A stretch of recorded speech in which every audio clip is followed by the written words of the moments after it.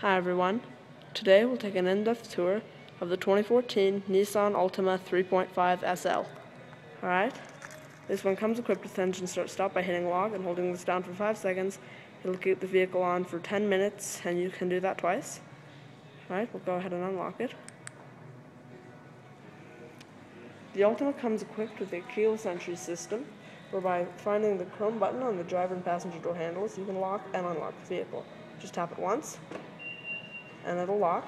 You have to wait a second, tap it again, and it'll unlock. It comes equipped, it's uh, cayenne red exterior with beige leather interior with wood trim as well as aluminum trim. Right? And in order to start the Altima, what you have to do is keep the key fob in the vehicle, depress the brake pedal, and hit the dash mounted illuminated button to start. It's as easy as that. Let's Go ahead and turn it into the accessories mode. Little goodbye message. Alright. Here's the Nissan uh, Multimedia Telemetrics interface. Right here is uh, uh satellite radio. We'll go into that. FM AM. CDN auxiliary navigation and map, back, apps, where you have Sirius XM traffic, Sirius XM traffic link, voice commands, my apps and settings, Bluetooth, uh, daytime and nighttime mode, seek, camera. This is your um, backup camera. Front and rear defrosters. Um, dual zone climate control with recycling, um, fan speed mode, AC, and on and off. It has a six-speed automatic transmission with overdrive and shift lock. Two-stage heated seats for driver and passenger, a little cubby, two cup holders, 12-volt power outlet, auxiliary and USB outlets, paddle shifters, minus and plus, and this three-spoke, unique steering wheel with uh, chrome trimmed buttons and chrome trim along here, the Nissan badge along here with light uh, bolster extensions and stitching around the rim. Source, enter, um, back for the trip computer, volume controls, cancel, uh, cruise control settings, and Bluetooth, as well as voice commands. Auto dimming garage HomeLink mirror with three positions. It has a sunroof with sunshade, interior illumination, Bluetooth speakers, sunglass holder, um, sun visor with illumination and vanity mirror, tachometer and speedometer, um, more cruise control settings, as well as headlights and indicators and wipers.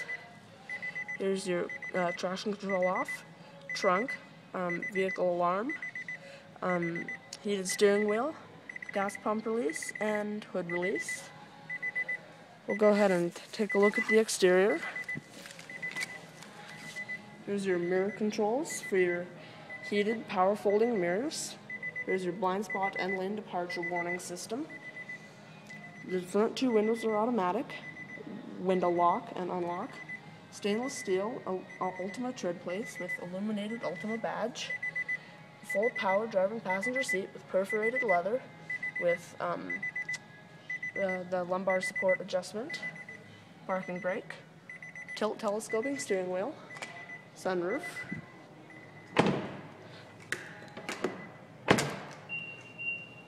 That beep is to indicate its lost detection of the proximity key fob. Turn signal mirrors. 18-inch alloy wheels, signature to the 3.5 and SL.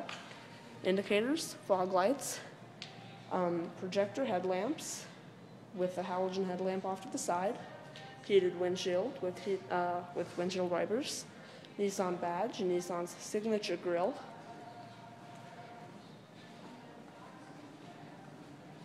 Around here we have the 3.5 SL badge, dual chrome exhausts, LED tail lights, third brake light, and radio receiver. go ahead and open up the trunk by holding down the trunk button on the key fob. And it pops it open. It does have a, a sill protector, as well as your uh, seat fold downs, accessory plugs, and interior trunk release. License plate illumination and backup camera.